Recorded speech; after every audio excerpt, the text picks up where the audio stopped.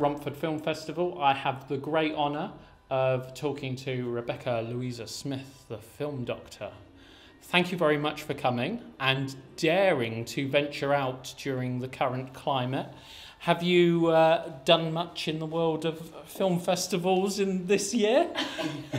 well, the last film festival that I was at was in California. I was attending the uh, CineQuest and the Idyllwild Film Festival, and they were the last two back in March. So I've, everything else has been online. So today is like an absolutely wonderful day because I get to wear a new dress that was made for film festival, and also is that I get to get that vibe again. It was just so nice today, like everyone, like you know, wanting to go in and seeing like photographers and having to work at the room. So it was brilliant. It's really nice. And I was really excited because we've got a lot of our films here. So it's really nice to see, you know, the vibe of coming back out now from our homes to the festival world. So it's perfect. So for those that aren't aware of who you are, would you like to tell us a little bit about who, what you do? So I'm the CEO and founder of a company called the Film Festival Doctor. And what we do is we create for our clients successful film festival campaigns. So we create for them the right strategy to get their films seen in the right film festivals around the world for their film. So people come to us with the problem being that we don't know what to do with our film. Which festivals do we get into? How do we how do we create a strategy? How do we submit? What do we do with it? So we answer those questions and resolve those problems by putting it into the right film festivals to achieve their goals. And uh, you've, you've got a history of actually uh, running film festivals yourself, haven't you? Do you want to tell us a little bit about what you've been involved in? So my background is film festival uh, production. So I co-produced a wonderful film festival called the Abertoir Horror Festival in Wales. Yes. It's a great name. Yes. And the guy, Gaz Bailey, that created that whole festival is one of the, one in a million. He's amazing. And he did it all just because he was asked to uh, create a festival that was horror, because there wasn't any horror festival in Wales at that time. And they thought it would be a good place to do in Aberystwyth because it's a student town. And obviously, students like horror, which they do. And he's a massive horror fan, he knows films inside out. So it began like a hobby for me and for him, but then it became a lot more serious. And I actually realised during the festival that this is actually what I want to do. I don't want to be, I mean, PhD, I was for my PhD at the time, so I have a doctorate in film. I'm, I'm a doctor, so I'm a real doctor, not of medicine, um, but of philosophy. And, uh, and PhD is great, but I just wasn't feeling that academia was going to be my passion or my career, but I really like film festivals. So I said to Gaz, I said, oh, I'm really enjoying this It's like a full-time thing now. And then when I was speaking to filmmakers at film festivals and also at Abertoir, they always had the same problem that they didn't know who to turn to to get their films into film festivals and how to get into the right ones and win awards. They didn't know what to do. They were just hoping for the best and submitting where they could without a box back in the day. So I was like, well, I can resolve these problems. I'm going to set up a company up. I'm going to make this happen because I know what to do now. I've learned the festival circuit, producing festivals and touring the, cir- touring the circuit with other films. Mm. So. And what do you think is going to be the result on the film industry of COVID 19? I think there's been a lot of good things and bad things. So obviously there was a you know a massive hiatus for like what three months, four months of no production.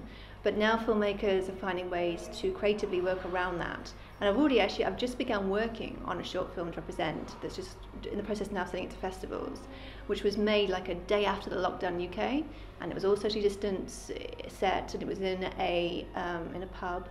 So it was in terms of locations it was you know quite easy to work around. It took three or four days to film edited it all remotely at home. And now it's finished and it's a great movie.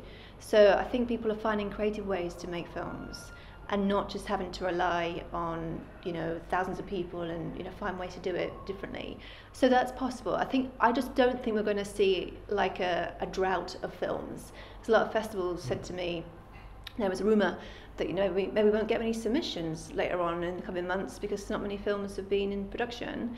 But there's always a film in post. There's always a short flying around. There was a really good short flying around. People have made films in lockdown that have been quite good, some of them. So never going to be a drought. There's mm. creativity every day around the world. So it's never going to end. I always joke I've got films that I've made that are sat on my shelf, and actually during lockdown, it would have been the ideal opportunity for me to have edited those together and get those out. So I'm sure that there are other filmmakers that have had exactly the same dilemma. I've got these films, they're sat on my shelf. I should really edit those together. So I think we'll probably see a lot of those. And there already is. In fact, I'll tell you a good story of that because um, the film that we have here, one of our films here, that's on the on the brochure and the cover, registered. So um, the director, um, Sophia Banks, she she had made a, a few months ago or so her follow-up short called Proxy, and she said, "Oh, it's going to be in post for a while. We're busy filming and da da da." And then when lockdown occurred, she's like, "Well, I can actually get on finishing it now." And then we finished it during end of May, and then we got it submitted into festivals, and it's already got a few selections now. So I mean, it wouldn't that would have been delayed much mm. longer. And then she's like, "Well, I'm going to focus on it now because I've got the time." It's the luxury of time. So now we have another amazing film to get into festivals, and it's already got some results that are great festivals. So I'm really happy about that. Do you think that some of the films that have gone to the online format, do you think that that will spark the change from physical to online, or do you think all those that have made the move will return back to their normal format? They're going to return back to their normal format from what I'm hearing and when I'm talking to festivals about it but some of them are seeing the value that online can bring for worldwide audiences for the industry section of their festival. So, for example, the hybrid model seems very popular right now that people are starting to embrace, where it's like partly online, partly live. Um, so, for example, I know that TIFF obviously are doing that, but even some festivals have found, like Setica, that they're going to go online, but they did say that they found ways that they can make the festival work the next year's festival by doing both, you know, like have the have the kind of live screenings and the live events, but then to actually at the same time stream them around the world to get more of an audience, to actually get access to industry speakers and connect. So it, has got some value there. I mean, at first we were all a little bit confused, like what what, what we're going to do, but then uh, festivals adapted very quickly to working around the whole online film festival thing and around COVID. And there have been some very good online festivals, um, and I've been quite impressed overall with people's energy toward it to make it work. So yeah. If you really putting you on the spot here, but if you had three really good tips that you could give to a filmmaker in order to make their film more successful because we often hear when we're showing films here that we've given a film a chance mm. I always say that like all these films they have this amazing potential but maybe something's not quite what three tips would you give to a filmmaker to increase their chances of getting their film seen? Well, the first one would be is it's all about the story and the script. So it has to be a very good script with good dialogue, not boring dialogue, but well written script. And the story has to have some kind of flair and creativity to it. So some kind of story that isn't conventional, A, B, C, D, boy meets girl, boy gets the girl back. We know that story inside out. So tell us something that's a lot more edgy, visionary, and also something that takes risks, because that's going to be more interesting for festivals and the audiences at festivals too. Number two would be sound. Like, I can't forgive bad sound. I can't take a film on that sound when you muffled or it's from the camera. It needs to be professional sound, and that is something people do miss sometimes. Shorts especially, um, so that's something crucial. And the third one would be the length. So there is a little rule that any short film can be shorter. And that even a film that's amazing could be a bit shorter. Mm. So you've got to be really ruthless and just think, do I need it to be that length? Can it be a bit shorter to really have that punch? And the answer is probably going to be yes. Some films you do think could be a bit longer when you see a short. It does happen occasionally. But most of the time, to get it where it needs to be a short, tighten it up as much as you can and don't go too overindulgent. So keep it the right length it needs to be. Features as well, mm. same with the feature. Um, but just really have someone else review it and kill your darlings, because that way you'll get awards. We, I used to find that my cut of a film was always two hours and 35 minutes, and then I would hand it over to Marcus, and before I'd know it, it would be like an hour and 18 yeah. minutes. Um, so, yeah. Where's that? That's like a better film. Yeah and that's the that's the that's the thing, isn't it? It's those.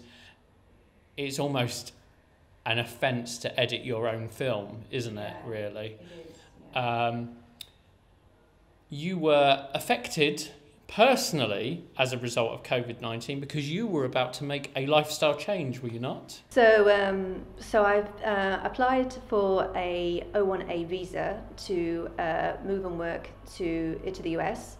And during lockdown, it was accepted, and they said you passed. It's everything's fine. They've all the evidence they need. You have it. You've got to go now. Obviously, you can. You can. When you can get there, you can then you know have your life in LA. And I'm still waiting to get on a plane.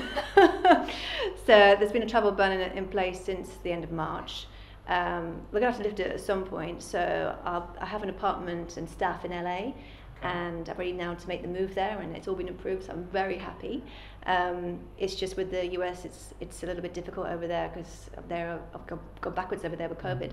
Um, but you just have to wait for the, for the planes to open up.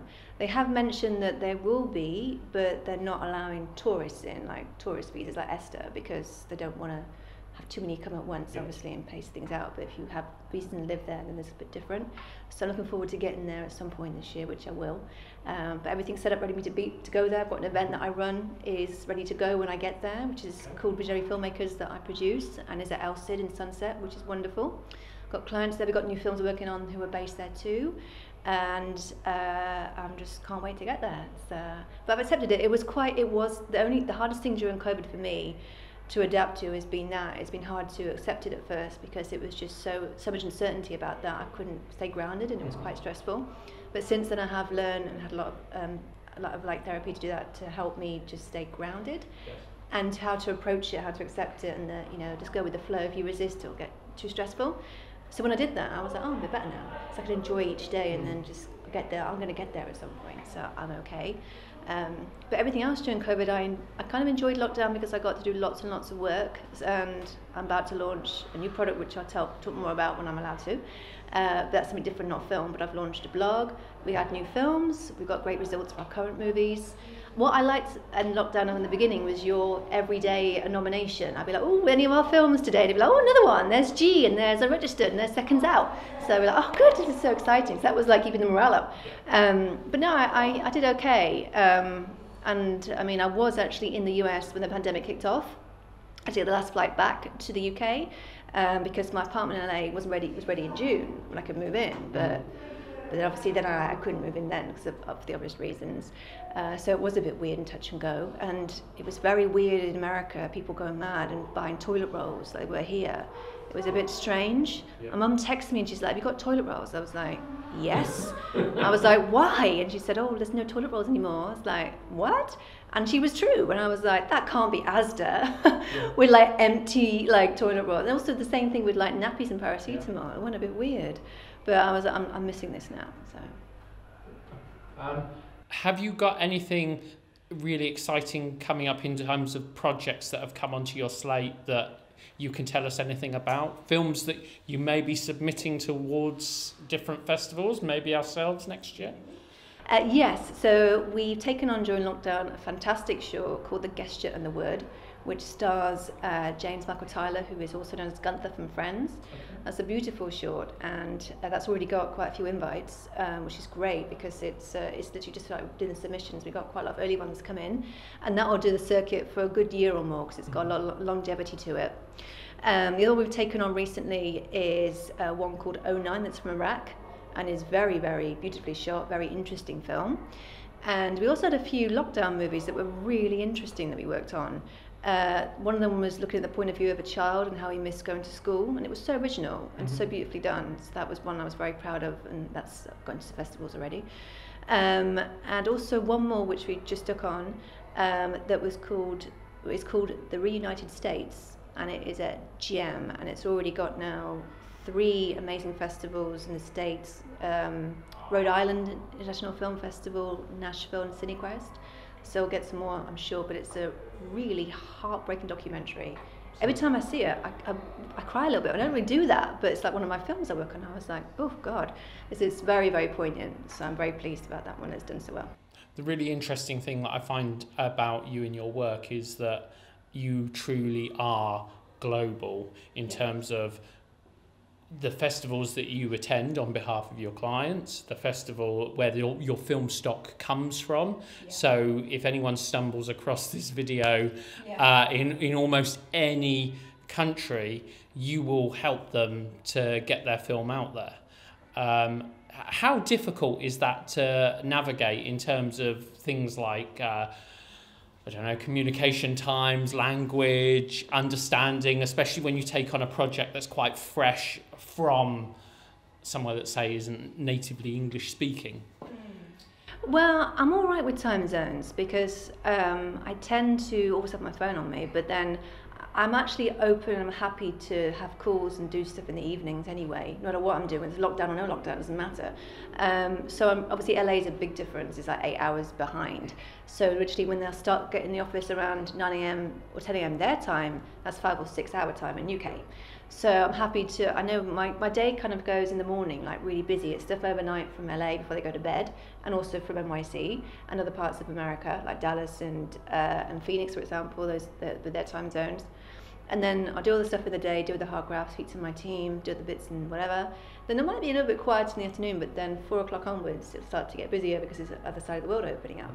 So it works okay because filmmakers tend to be not nine to five either. So as we all adapt to being 24 7, it works really well. And festivals are the same. I mean, festivals will reach out to us any time of the day because of their time zone. So we're just all in together, really.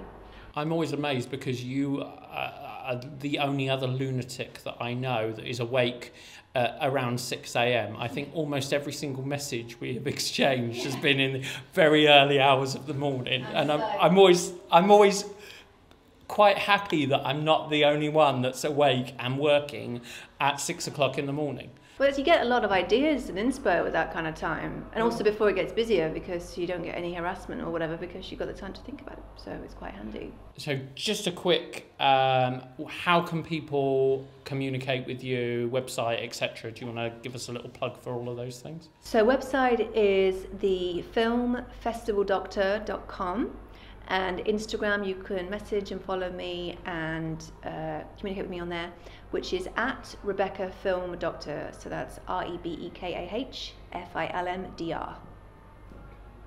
Well, thank you very much, and thank you for the phenomenal uh, array of films that you've let us uh, have this year. Um, we really appreciate it, and uh, we wish you well for the next uh, coming months as more and more festivals start to open up their doors. Really excited, and thank you. It's great to be here, and thank you for having all of our films and looking after them. I really appreciate it.